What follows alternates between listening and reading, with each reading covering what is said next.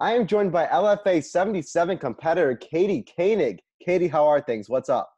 Good. Um, nothing. Just got done cleaning my gym here and getting ready for the week.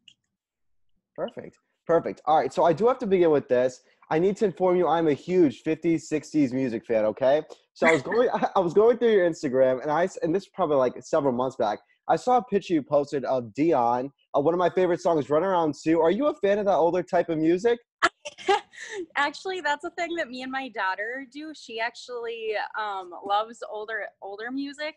Um, I put on the Disney Channel app on Pandora, and she says, "No, Mama, I don't want to listen to that." And then the next song comes on and it'll be like older music and we just cook to it and dance to it and all that good stuff so yeah for the most part you know for me it, has been a dream of mine it's been like one of my top wishes to watch a fight or walk out to some like bobby darin or frank sinatra i was hoping you maybe be that fighter that makes that wish come true you know i totally can i mean i don't i don't even know um, i haven't even thought about walkout songs yet ah. so that could be an option gotcha gotcha just something for you to keep in mind okay all right.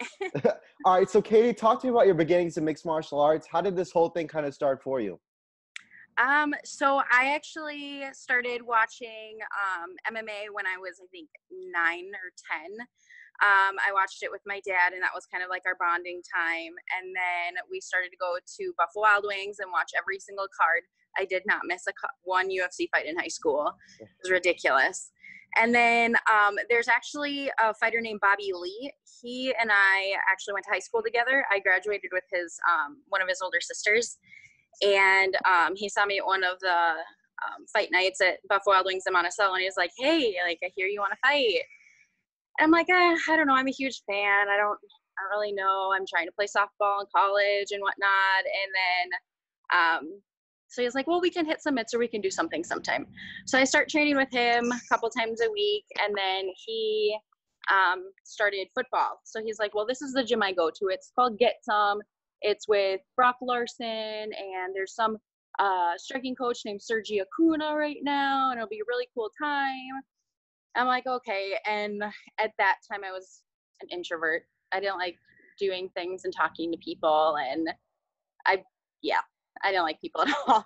So I went to this gym and I loved it. Um, I think that was five, six years ago. And then um, I did it for a month. I got wrapped up with work. I worked full time as a manager at a retail store. And then I started back a year later and I didn't stop. So Bobby Lee started me here, as much as I don't want to say that. Um, but yeah, he started me. And then ever since then, I've been hooked. Brock's like a second dad to me. Like he helped me change my brakes two days ago. Um, he saved me so many times, but uh, yeah. So I've just been hooked ever since. Yeah. So when did kind of uh, you know training transform into actually stepping in the cage and fighting? Was there like a specific specific time that you remember that that's something you actually want to do? Yeah, um, about two weeks into training uh, jujitsu. I was like, "Hey, Brock, I want to fight," and he goes, "Well, there's a jujitsu turning co- tournament coming up in a month." So within like a month and a half, I was already competing in a jujitsu tournament, and I took second place in that, which was super fun. And then I did another tournament like three months later, took double gold at Naga in Wisconsin. And then I was like, I think I should start striking and I want to fight. And then like four months later, I took my first fight. That's incredible. That's incredible. Well, you know what? Yeah. So, so quickly in your career here, you're, you're already finding success. LFA 77, September 27th. Yeah. Talk to me about the process of getting this fight. Well, what did all that entail?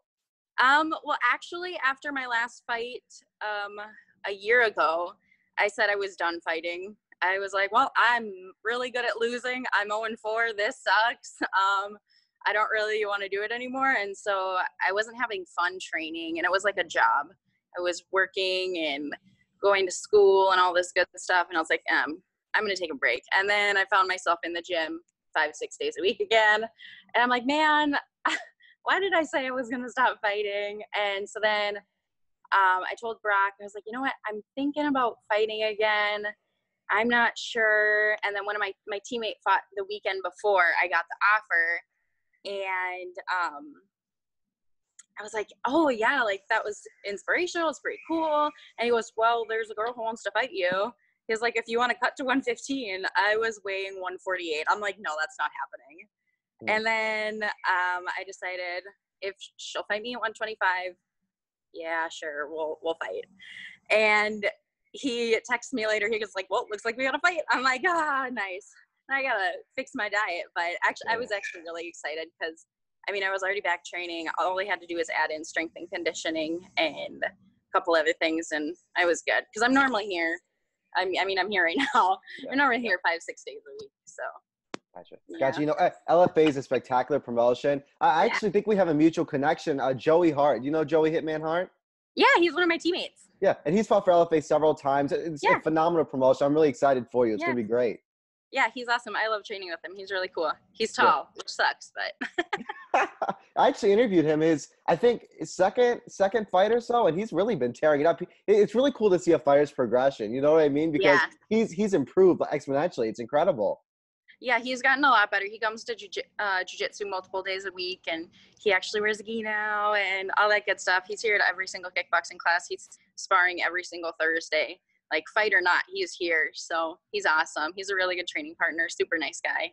Yeah, yeah. All right. So you had mentioned your record 0 and 4, which by the way, I've watched the majority of your fights. Uh, and one of the reasons I want to have you on the show is because I don't think your record's reflective of your skill. No, I, it's I, not. I mean, obviously, I think we both know that you're a very talented yeah. fighter. And I actually Thank watched you. your fight. Of course, I watched your fight against. Uh, I think her name is Alexa Kolb, and mm-hmm. I think that was a fight where you kicked her and she like flew halfway across the country, right? yeah.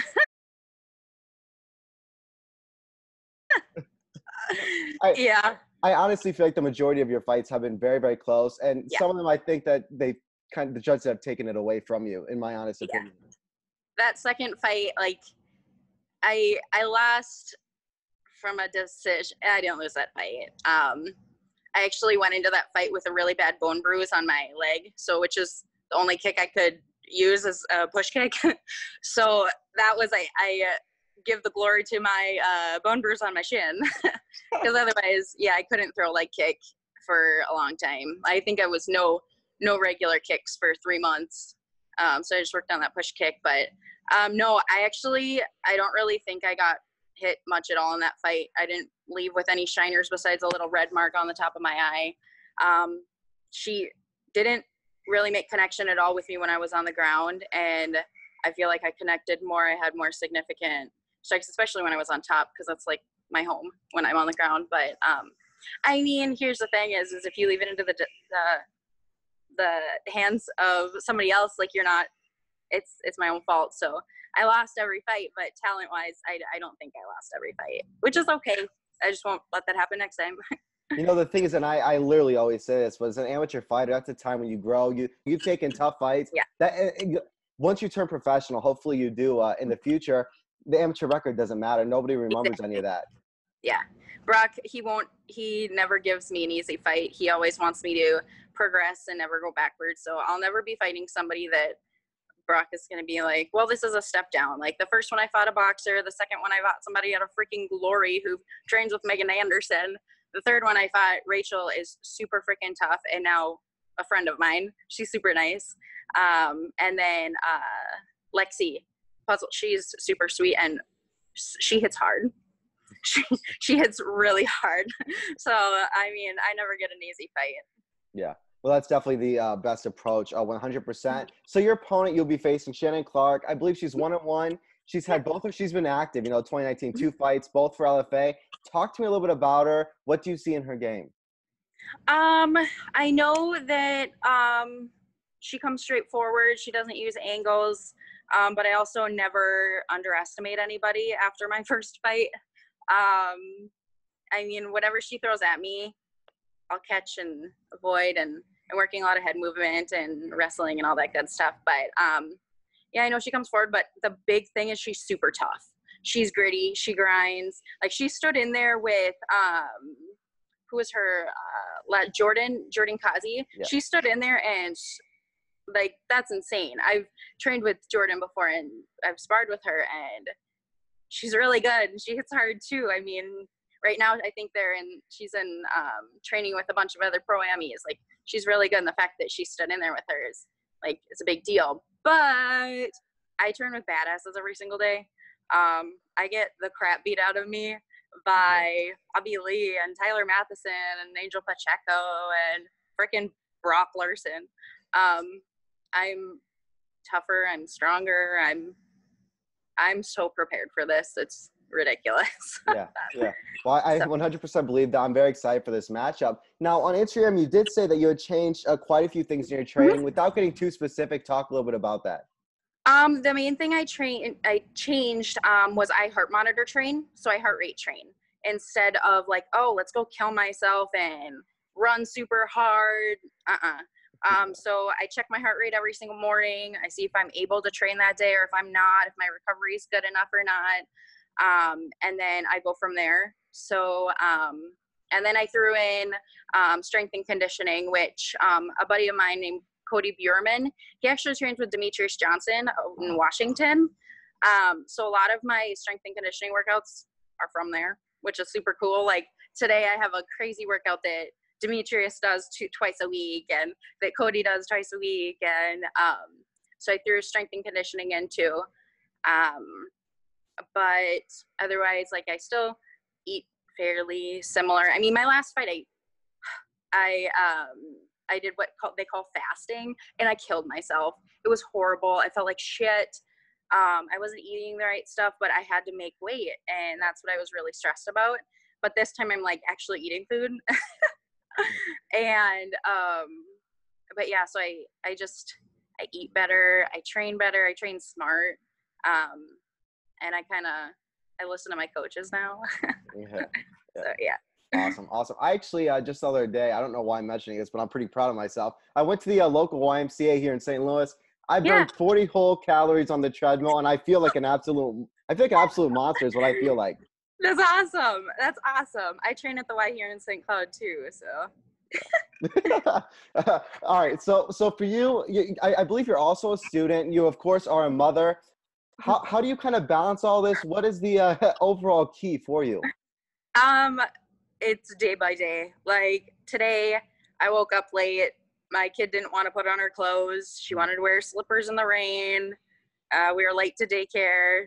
Um, I have class from 11 to 2:50 today. Um, so normally, like I'll wake up, I'll get my kids daycare, and then I'll do a workout, um, depending on the day. Um, but normally goes workout first, class second. Um, then I'll have another workout in the afternoon, and then I go to nighttime class.